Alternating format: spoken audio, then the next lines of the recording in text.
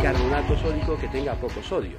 Eh, aconsejo determinadas marcas de eh, Torres Muñoz, Pérez Jiménez, porque si compramos la pitarra, que lo hay también, pues tiene muchísimo sodio ese bicarbonato. Entonces, por cada litro de agua debemos una cucharada sopera, añadir una cucharada, una cucharada sopera de bicarbonato sódico. Y también sería muy válido añadir carbonato de magnesio. El carbonato de magnesio tiene una propiedad muy buena que es ligeramente laxante, pero ligeramente. ¿eh? Si ponemos ya dos cucharadas, pues va a ser verdaderamente laxante y si ponemos tres cucharadas va a ser purgante. Muchas veces nos interesa mucho purgarnos. Y 5 gramos, una cucharada de postre de sales de Epsom, sales de Epsom, sería suficiente para obtener ese efecto purgativo de evacuar el contenido intestinal de forma perfecta. La caspa. Bueno, la, la caspa es algo que, que es muy molesto y tal, pero se, se cura tan, se elimina tan fácilmente que es digno de saberlo, ¿verdad? Es no tomando lácteos, fundamentalmente, y sí mucho omega 3, ¿verdad? Tomar una cantidad suficiente de omega 3. El omega 3 eh, nos va a servir para el sistema nervioso central, nos va a servir para la piel. ¿Dónde está el omega 3? Para los que sean vegetarianos, por ejemplo, que no quieren comer pescado. Pues está en el aceite de linaza, en el lino. Solo hay que masticar lino, tres cucharadas al día de lino, eh, pues unos 15 gramos, mejor siempre en ayunas, no de postre, no después de las comidas. Eso nos va a ayudar mucho en todos los sentidos. El omega 3 es el anticancerígeno, lo podríamos repetir hasta la saciedad, más potente, y- pero claro, es lo de siempre. Como es barato y accesible, pues no, no suena, pero que lo sepamos. ¿eh?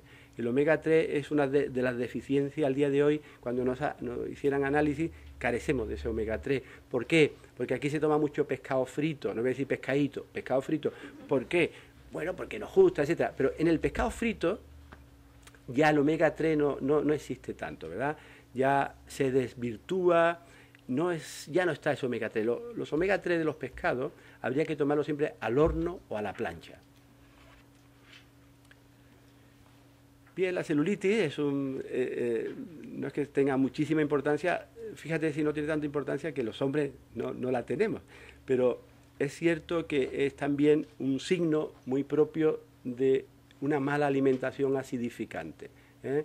Y detrás de la celulitis, que es lo que menos me interesa, lo que sí me interesa es que una persona con celulitis, una niña con celulitis, una mujer con celulitis va a tener mastopatía fibroquística casi siempre, ¿eh? En muchísimos casos porque son personas muy acidificadas. ¿Por qué? Porque toman mucha bollería, mucho chocolate, mucho gusanito, está triste y sabe que se toma tres gusanitos y una gominola y se le quita la tristeza, o se toma un, bueno, pues una bollería con agujerito, para no decir nombre, que ese es el colmo, y la vida sedentaria y la, deshidratación. ¿eh?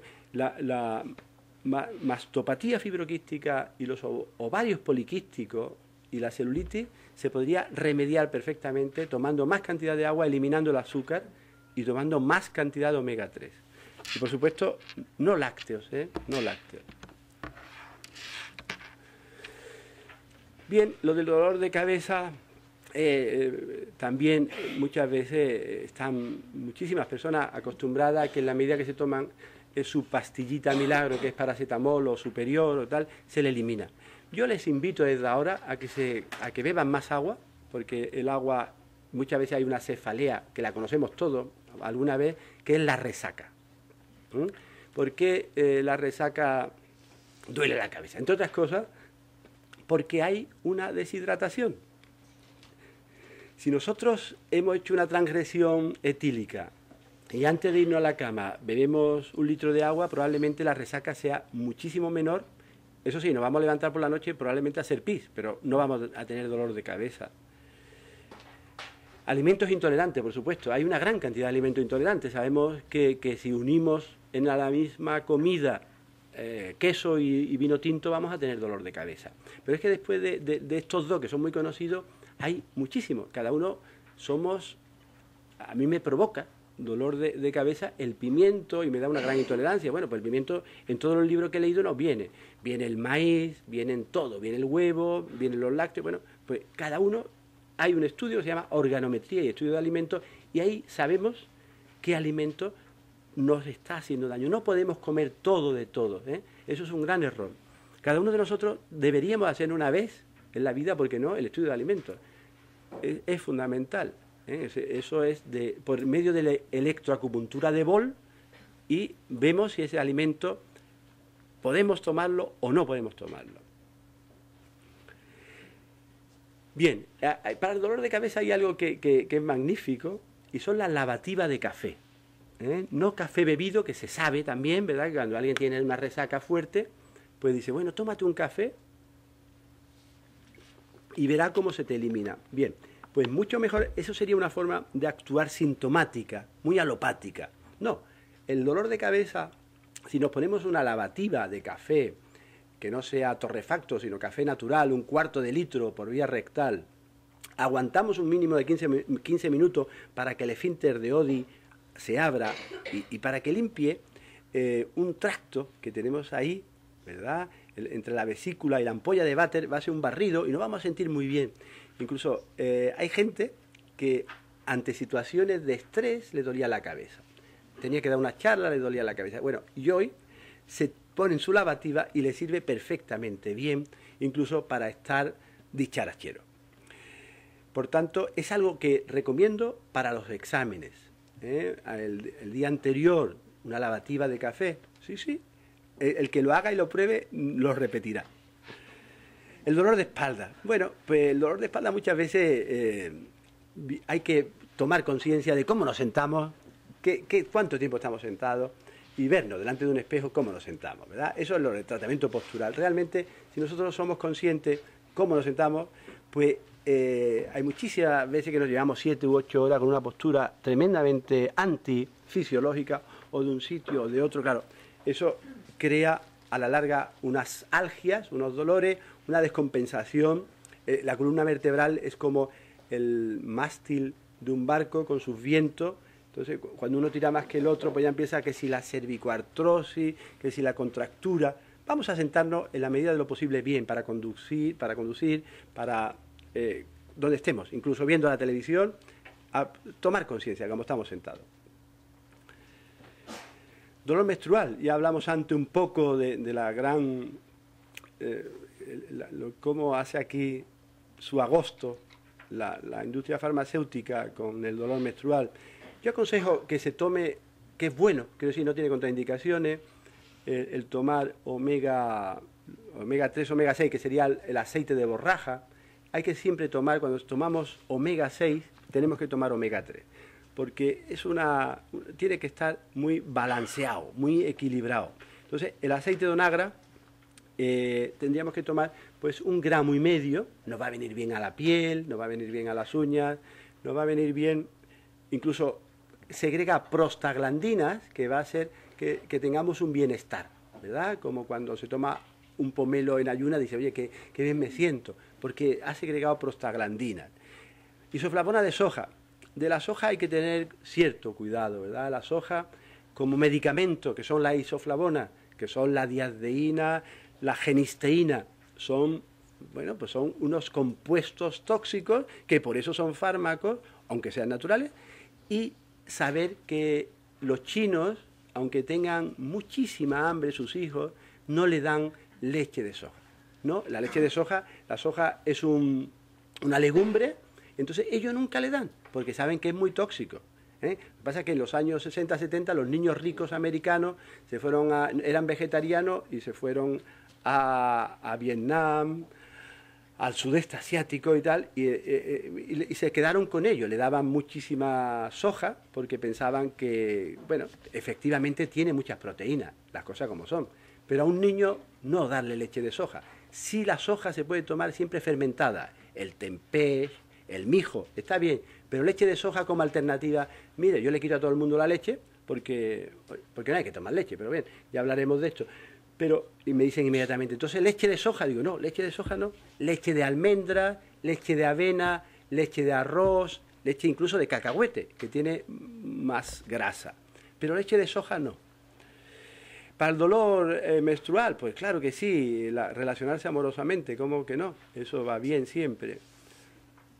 Y por, hacer un pequeño resumen, sería tomar un gramo y medio al día siempre, que no tiene inconveniente. Cuando nos cansemos del aceite de onagra, podemos tomar aceite de borraja, un gramo y medio, o sea, tres perlas de 500 miligramos, siempre un poquito antes de comer, para no eh, las, grasas, estos son mm, ácidos grasos poliinsaturados, que no se deben de asociar con la comida porque quieras que no lleva a llevar grasa y vamos a desvirtuar esa grasa, antes del desayuno, antes de la comida y antes de la cena.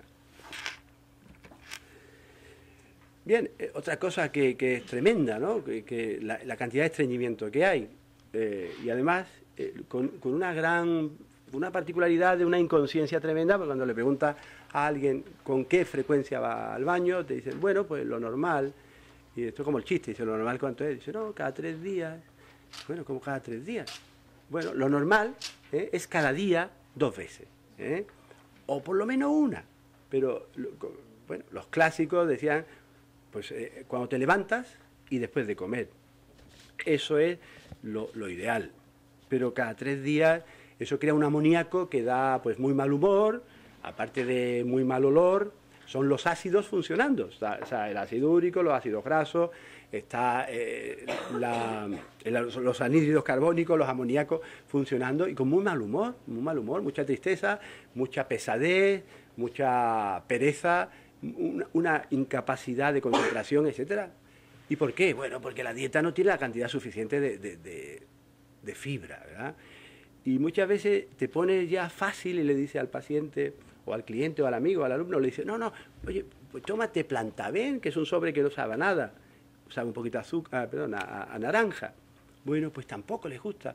Y, es que eh, cuando Livingstone fue a África y se quedaban los africanos delante del, doctor Livingstone, eh, Livingstone se, se, llevaba las manos a la cabeza cuando veían, porque no tenían ningún pudor a la hora de evacuar, y se ponían así en cuclilla hablando con, el, con Livingstone, y cuando se apartaba había allí una cosa y decía, bueno, qué barbaridad, y yo con mi pastita y mi té y mi cigarrito hago tres cositas, ¿no? Y como esta gente, claro, que tomaban ñame, tomaban gran cantidad de, de fibra. Dieta y planta. Bueno, pues planta, sabemos perfectamente que, tenemos plantas que son más o menos purgantes, más o menos agresivas. Muy agresivas la cáscara sagrada, el zen, menos el aloe vera. Eh, pero yo soy partidario de poner una cantidad suficiente de fibra en la, en la comida. Para eso, lo más importante, primer plato siempre una ensalada. ¿eh? Si se olvida todo, yo quiero que os quedéis con dos cosas. Primer plato una ensalada que quieras que no, una ensalada no es solamente una lechuga. Para todo el mundo la ensalada es la lechuga. No, obviemos la lechuga. La lechuga tiene mucha lignina, hemicelulosa que da gases. Entonces hay quien te dice, no, no, yo es que no puedo con la ensalada porque me da gases. Y le dice, bueno, pues de acuerdo. Toma rúcula, toma berro, pon zanahoria, pon un poquito de puerro, pon cebolla, pon un poquito de ajo si puede, claro, eh, pon tomate, apio, etcétera, ¿no? Que sea de muchos colores, que tenga granada, que es la única fruta que realmente se permite, porque es una fruta, la granada le podemos poner también eh, aguacate, por supuesto. ¿eh? Eso es una buena ensalada que tiene una gran cantidad de fibra, aderezada siempre sin vinagre, porque el vinagre capta una enzima salivar que se llama la ptialina con P de Pedro, y después una T. La tialina es la que se encarga de desdoblar los almidones. Si nosotros tomamos una ensalada con mucho vinagre o limón, pues también nos va, limón menos, pero va a englobar esa enzima y, los almidones pues no lo va a desdoblar. ¿Qué va a ocurrir? Que vamos a tener un montón de gases, vamos a tener una deplexión eh, abdominal, eh, mal humor también, porque es una mala digestión. Eh, Goethe, Wolfgang Goethe, con todo lo que sabía, dijo que la felicidad era una buena comida y una buena digestión. Fíjate que simple al final todo, ¿no? Pero claro, si le pones mucha vinagre a la ensalada no va a tener una buena tarde, ¿no? fiebre. Efectivamente, ¿no? a mí me da muchísima pena que una madre al día de hoy se ponga absolutamente nerviosa, de forma incluso patética, cuando el niño tiene 38,2 y te llama a la una de la mañana porque el niño tiene fiebre. Bueno, pues eh, yo le he dicho, ¿usted se imagina el esfuerzo que ha hecho ese organismo, el acopio energético que ha hecho para hacer esa pirosis, ese fuego, para que ahora usted alegremente le ponga un paracetamol, un, dalsi o puñeta, como se llame, ¿no? Pues no tiene sentido. Ojo, si eh, la, va a tener ya 40 grados y lleva no sé cuánto tiempo, pues ahí tranquilo. Pero es que es, forma parte de lo mismo, ¿eh? forma parte de lo mismo. Interesa ese miedo para que la madre inmediatamente le dé un medicamento al niño. Miren, el, el virus del SIDA, en el supuesto que exista, muere a los 38,7 grados. Pero no hay ningún medicamento que eleve la temperatura. ¿Por qué? Porque no interesa, porque eso curaría. ¿Qué cura muchísimo? La sauna. La sauna. La sauna cura mucho. Pero eso no interesa. Lo que le interesa a la farmacopea es que estemos medio enfermos. Fiebre y lavativa, por supuesto. No hay nada mejor, eso lo sabe cualquiera al día de hoy, ¿no? Una lavativa de tomillo, incluso una lavativa simplemente de agua, alguien que tenga 39 grados inmediatamente baja la temperatura, pero eh, en un tiempo récord, ¿eh? muy, muy rápido. Esto no quita que haya, por supuesto, excepciones, pero estamos hablando de, una fiebre benigna sin, sin, mayor problema. Bueno, insomnio, otra, ¿cuánta gente, cuántas personas de la población padece insomnio? Y, nadie, nunca le ha dicho a su médico, oye, ¿cómo está tu cama orientada? ¿eh? tiene que estar los pies al sur y la cabeza al norte. Pues eso es fundamental. ¿eh? Nosotros somos un campo, somos, eh, somos eléctricos y estamos en consonancia con un campo electromagnético y por supuesto si estamos al lado de una televisión durante la noche, de una radio, de un teléfono móvil cargándose. Oye, qué mal he dormido esta noche. Oye, y, claro, eso, pues toma benzodiazepina, toma lo que te den. Mm, vas a dormir, pero no vas a tener un sueño reparador. No, te va a levantar contento, te va a levantar muy cansado.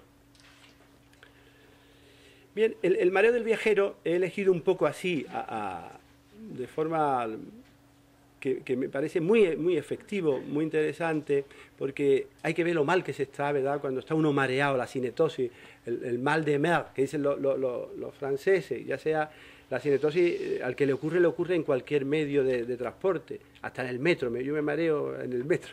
Entonces, tengo que tomar nuez moscada o jengibre, un poquitín debajo de la lengua, y es magnífico. Es un remedio muy bueno que no tenemos por qué tomar la biodramina famosa que te da un resacón que no sabe qué es peor, si el mareo o, el día siguiente está muy mal, ¿no? Entonces, la raíz de jengibre y la nuez moscada es un... Si os lleváis a un crucero un bote enorme, se lo quitarán de en medio. Una pregunta. Sí. Asunto, la orientación de la cama. Sí. ¿De norte a sur? Cabeza al norte. Sí. Hay que ver, yo he indicado, no sé, ahora mismo aquí estoy un poquito desorientado. ¿Y si no hay posibilidad en, tu... Siempre hay, ¿eh? En tu habitación. Eh, si no hay posibilidad es porque usted está anteponiendo la estética al dormir, pero siempre puede darle la vuelta a la cama a la habitación, ¿no crees?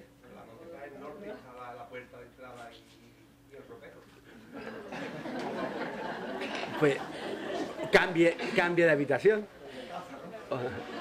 De casa es más complicado. O duerme los pies de la cama, exactamente, claro.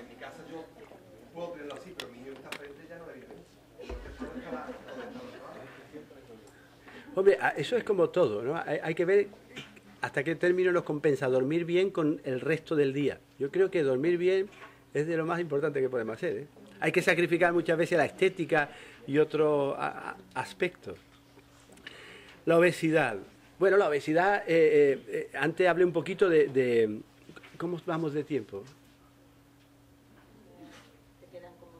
Vale, muy bien, muy bien. la obesidad está, es decimonónico, es antiquísimo hablar de calorías. He dicho antes por qué.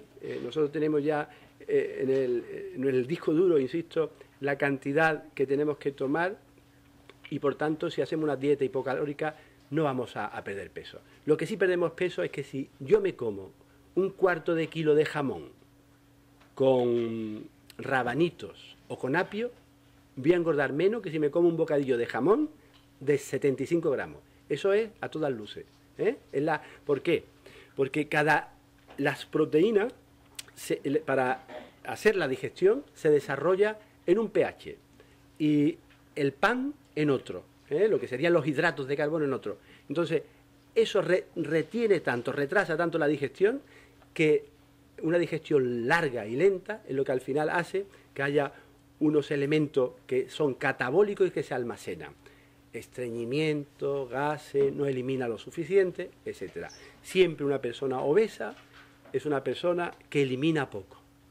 ¿eh? Entonces, hay que favorecer la eliminación y, por tanto, saber mezclar los alimentos. ¿eh? Hay muchísimo, miren, la, dieta del obeso mórbido americano no llega a 1.200 calorías o menos. ¿Pero qué come ese, ese señor? Primero no desayuna. Sobre las 12 de la mañana empieza, se toma un cafelito con unas pastas. Después se va preparando y durante el transcurso del día toma batidos, helados, preparándose para comerse probablemente su hamburguesa o su pizza.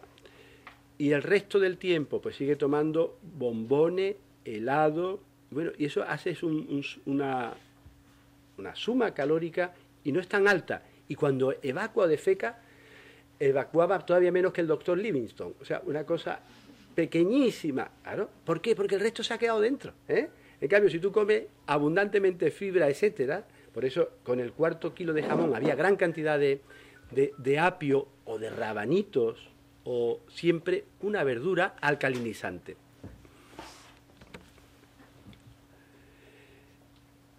Esto, claro, el síndrome premenstrual, la, la, dismenorrea, esta tan dolorosa, tengo muy claro que se da muchísimo más en personas que llevan una, una dieta muy desarreglada, no hacen deporte y hay siempre una carencia grande de este grupo de vitaminas, de la B, de la A, de la C y de la E. Y, no descongestiona la, la, pelvis, ¿verdad? Entonces, aconsejo siempre que, se tome, aparte de lo anteriormente dicho, el aceite de onagra o el de borraja, que hagan ejercicio. Por eso antes eh, eh, dije de otra manera, eh, el, relacionarse amorosamente, quieras que no, pues hay también una descongestión pélvica.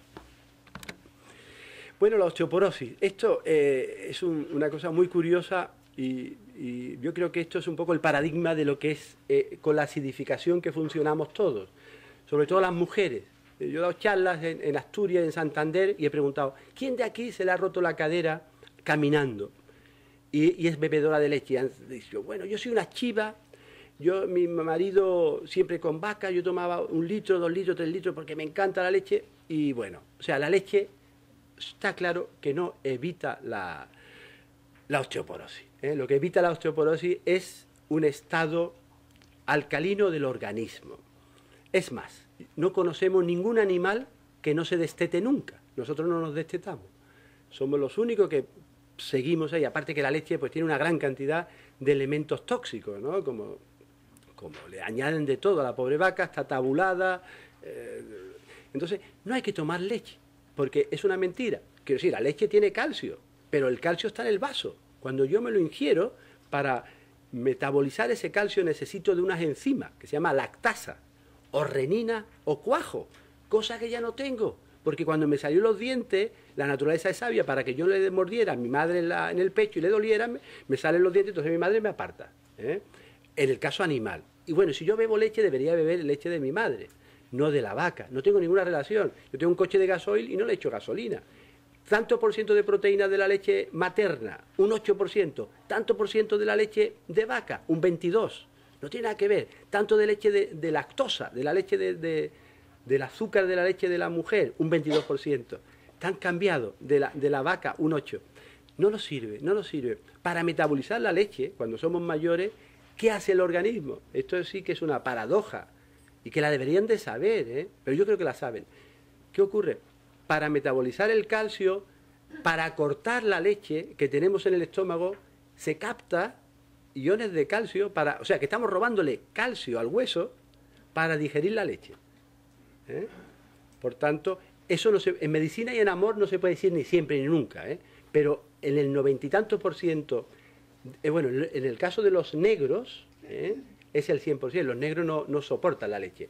Los híbridos, entre un negro y una blanca, más o menos. Y nosotros occidentales, por acomodación y acostumbramiento, casi lo soportamos, pero normalmente no han forzado a beber leche. Yo recuerdo que, que casi la mayoría no nos gustaba la leche, lo que pasa es que nos habían vendido que era buena. Bien, eh, ¿alguna pregunta? Sí,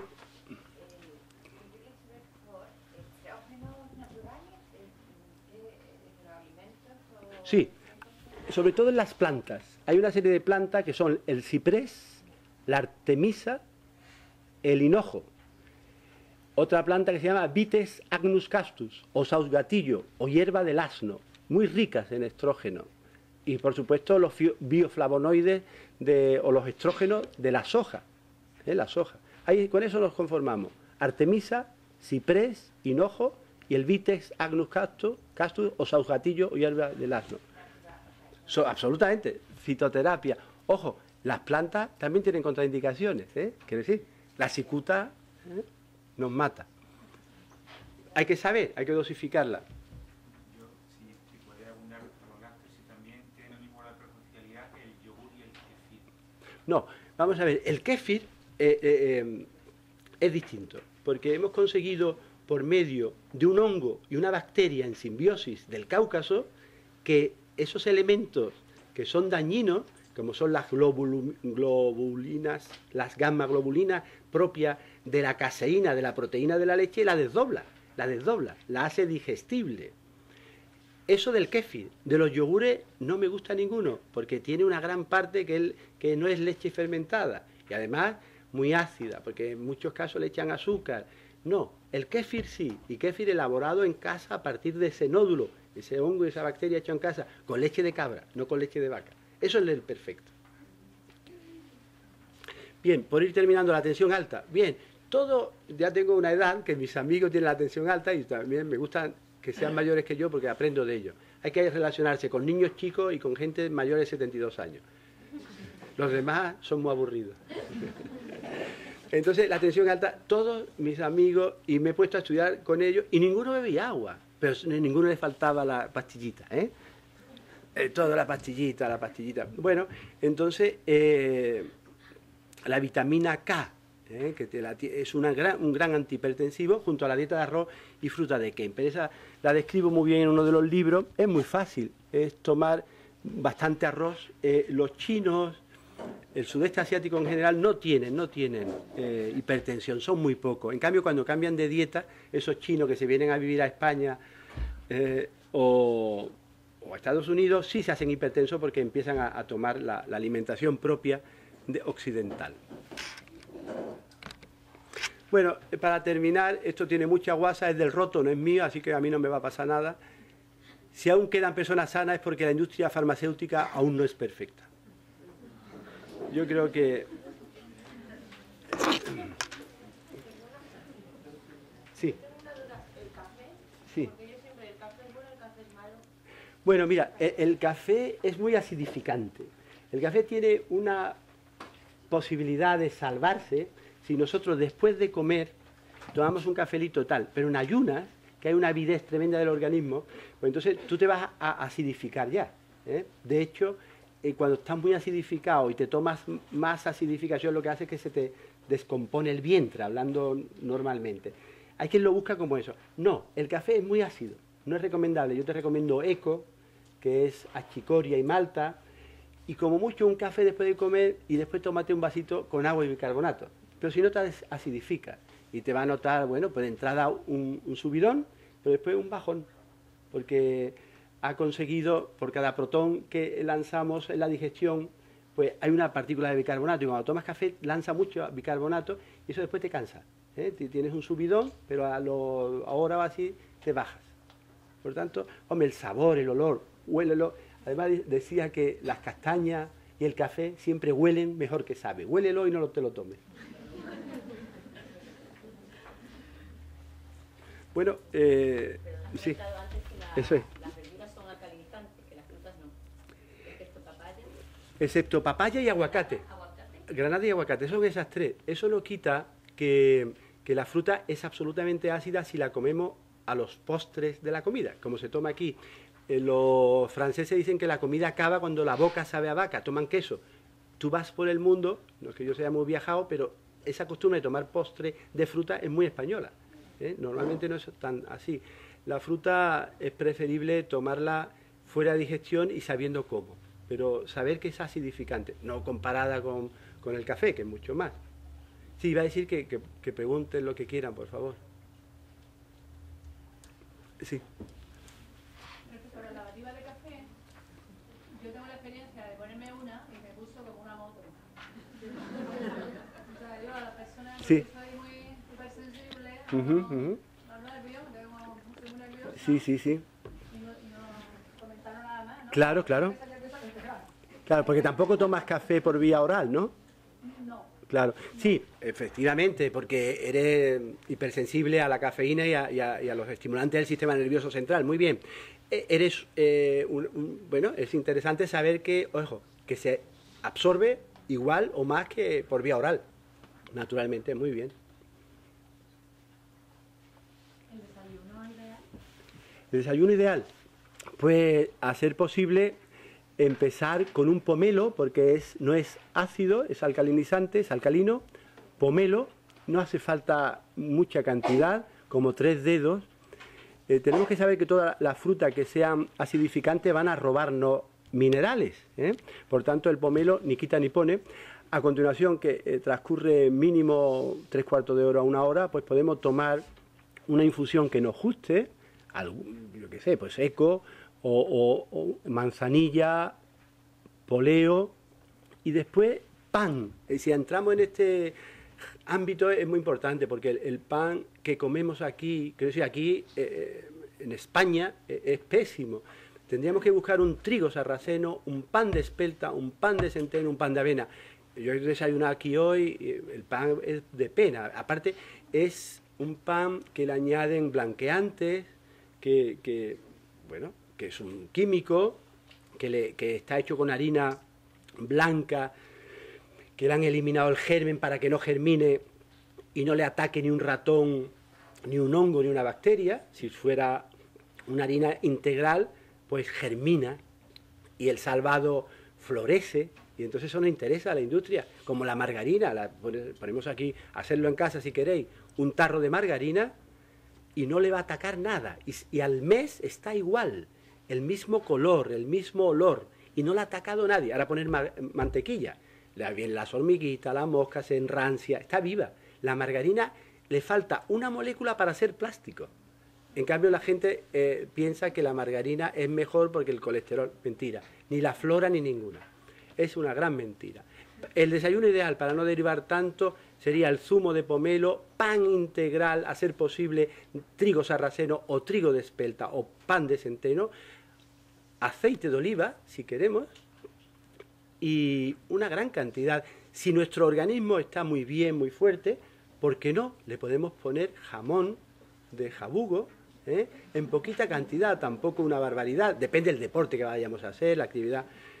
Y a media mañana aconsejo, pues, por ejemplo, que se tome un aguacate, ¿eh? porque mm, si digo otra fruta, pues no va a ser tan buena. Un aguacate con un poquito de sal, ¿eh? no ocupa nada, te lleva tu cucharita y una jotita de aceite, es magnífico. Nos va a dar una serie de... tiene todo, tiene todos los aminoácidos, tiene hierro, eh, tiene omega 3, es un alimento completísimo. Hay, eh, si nosotros quisiéramos vivir de verdad 120 años sanos, sanísimos, aunque algunos dirán que aburrido, almendras y aguacates. Es magnífico. Y mucha agua. Eh, Sí, es que ahí van todos los elementos. No quiere decir que esto no, no po- podamos tomar más, ¿no? Pero imaginémonos, podríamos tomar muchas más cosas. ¿Alguna pregunta más? Sí. Es ¿no?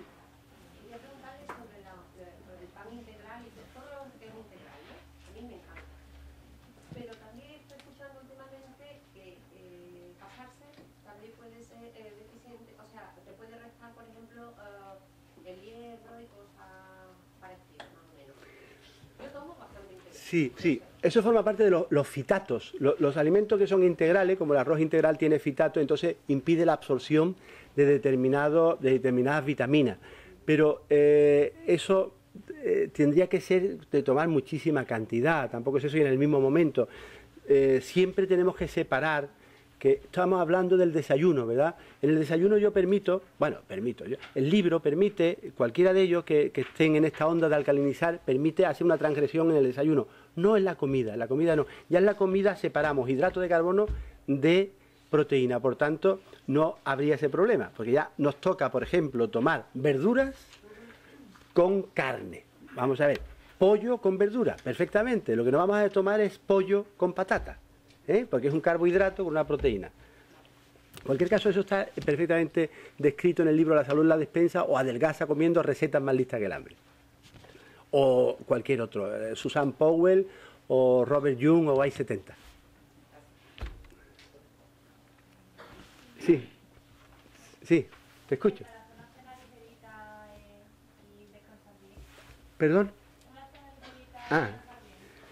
Muy bien, pues uh, dice que la, la cena se reposa, la, comida se reposa y la cena se pasea. Para dormir bien, te aconsejo que, que, se- que después de la cena, que te, te la describo a continuación, que se dé uno un paseíto. Mira, una cena buena nunca debe tener yogur, porque acidifica. Eh, eso es lo que pasa con, con- muchas veces con la, con la medicina alopática, ¿no? que te hace un estudio tremendo, perfectamente bueno, pero no, te, no se mete nunca en la digestión de lo que come. Recuerdo esto porque un señor que, que fue a, a un eminente digestivo, los mejores digestivos de, de Europa son de Sevilla, no es ninguna tontería.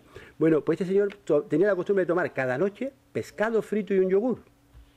Bueno, pues eh, por eso fue a, a este señor, a Felipe Martínez, que en paz descanse, ahora está el hijo. Bueno, pues le hizo un estudio proverbial, magnífico, pero no se implicó en absoluto en lo que este señor comía, que era pescado frito con yogur. Siguió mal. Por tanto, eso no va a ser lo que te voy a decir.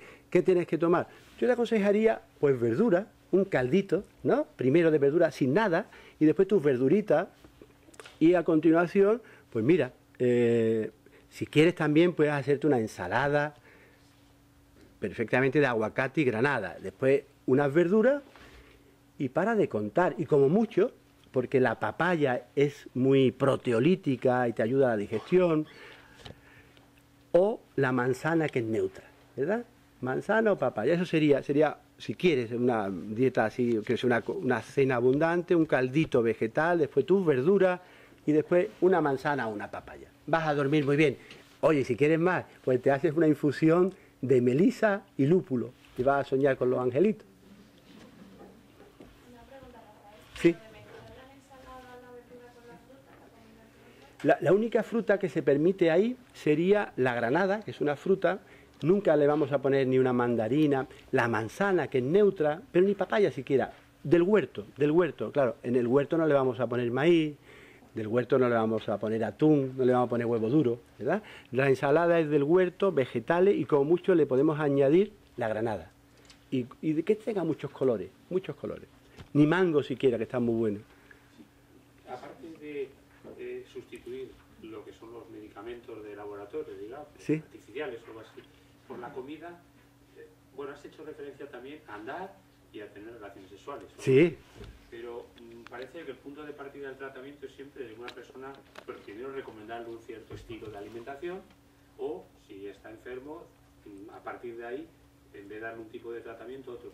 Pero yo estoy seguro que tú contemplas que hay algo aparte de lo que es el propio organismo, en la vida de esa persona, en sociedad y tal. claro. ¿Qué, qué reflexión podéis hacer al respecto? Porque me da la impresión que si no podría quedar muy como que todo es cuestión de que en vez de tomar paracetamol, pues no recuerdo muy bien, pues tomar no sé qué otra cosa, digamos, ¿no? Y no dejaría de ser un señor paciente que se enfrenta a un médico de otro estilo, pero en última instancia con el mismo planteamiento. En la charla yo hablaba de que una de las diferencias, entendía yo, de medicalización y no medicalización era el papel activo que tomaba la persona a la hora de enfrentarse a los problemas que existían y tratar de resolverlos. como complemento comería mejor, comería peor, pero que la base, digamos, no solo era el tratamiento individual, ¿no? O farmacológico o de alimentación, sino también contemplar esa otra dimensión, ¿no? Y yo estoy seguro que tú lo piensas, pero ya digo, ¿qué podría decir? Porque si no, daría la impresión de que nos podemos ir aquí diciendo, está todo solucionado. Mm, sigo, todo el problema está en qué como y qué no como, en sustitución a otro tipo de... Claro, la, la Organización Mundial de la Salud dice que nosotros somos responsables de nuestra salud. ¿eh? Y eso me lo creo, vamos a ver. Si nosotros ponemos la, eh, deposito la confianza en cuando yo estoy enfermo voy al médico. No, yo creo que la salud estriba en saber que me tengo que levantar por la mañana, ir a correr. Eh, es una autodisciplina. Ahora, si nos metemos en, unos- en uno- en unos ámbitos más profundos, ya psicógenos y tal, pues entonces tendríamos que invitar también a la meditación. Tendríamos, no sé si te estoy respondiendo o no te he entendido la pregunta, pero nunca eh, la, la responsabilidad de la, de la salud es de uno, independientemente que nos venden ahora que la genética, bueno, la genética te va a predisponer un 25%. El 75% es restante. Si, si mi abuelo murió de cáncer de pulmón y yo no fumo y hago deporte, yo no voy a tener cáncer de pulmón. ¿eh? Eso, eso va a ser así. Vamos a ver, lo que tengo que ser es más consciente que otro que no tiene en su árbol genealógico cáncer. Pero eh, esta es otra forma de medicina, que si no es aquella que cuando estoy enfermo me acuerdo del médico, y de Santa Bárbara cuando truena. No, no, cada día tenemos que saber lo que hacemos. Esa, eh, eh, no tiene nada que ver una medicina con la otra. La otra es quitar, quiero decir, ir poniendo parche, eh, no sé, eh, tapando eh, síntomas y esta es realmente que tú eres el dueño y señor de tu salud a partir de, tu disciplina. Es que es muy complicado lo de la disciplina, pero yo comprendo perfectamente que, aquí, si no hay pan del que he dicho, ¿qué haces? ¿no? Claro, pero eso, si yo viniera aquí a dar todos los días clase, yo me traería mi bocadillo de pan de espelta, eso no cabe duda. Y antes me iría a nadar una hora, eso no cabe duda, aunque estuviera más lejos, etcétera. Bueno, eso es tu propia, aparte el terapeuta no se tiene que poner de ejemplo, pero que esa ah, echarle la culpa al otro y, pensar que uno no puede porque tal, eso se puede hacer durante un tiempo y cuando se es jovencito, cuando ya tenemos un, a partir de los 25 ya tenemos que tomar carta en el asunto. Bueno, es parte respondes, pero quiero decir más bien que la enfermedad sería producto de una mala alimentación, como has dicho, y habría enfermedad sin mala alimentación y si no se pasea y no se tiene... Eso no me cabe duda. Yo, yo quería decir que no yo decía si considerabas ahí, Sí. por ejemplo, hablaba yo en los ejemplos que ponía de la sífilis o hablaba Sí. también de la depresión.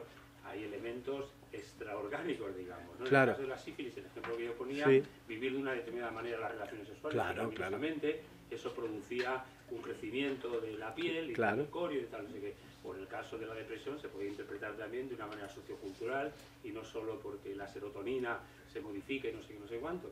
Como no hacías ninguna referencia a esto, no sé si es que, claro, quizá porque la práctica médica, digamos, o la práctica médica, o no sé cómo le llaman, médica Sí. o... Bueno, sí, sí, o biológica, médica, biológica, biológica. No está contemplada. Entonces, yo decir que yo llamaba un poco la atención porque después de lo que yo había dicho, Sí, llamaba sí. la atención porque si tú lo decías, yo decía que no se agota todo, eh, si Claro. se pasea, no se pasea, si se tienen relaciones o no se tienen relaciones, que por supuesto es bueno en todos los casos, ¿no? Y, y la alimentación, sino que la enfermedad en ese sentido tenía una etiología diferente, digamos, que no solo fuese esa la. Eh, te- empecé diciendo, lo he dicho por ahí, que, que no hay, que en, en- en medicina no se puede decir ni siempre ni nunca, pero está claro que si tú comes todos los días aquí, lo que yo desayuno hoy, yo desayuno bien, tú tienes muchísimas más papeletas para enfermar que yo. Y si a la vez yo, o al revés, como quieras, no me voy a poner, pues después eh, me doy un paseíto, no sé cuánto, tú te fumas dos cigarros, pues, por muy positivo que pienses y tal, yo creo que biológicamente y bioquímicamente nos estamos intoxicando. Pero bueno, te he comprendido perfectamente. Eh, que sí, siempre hay un margen ahí que, que- que- sabe nadie. ¿no?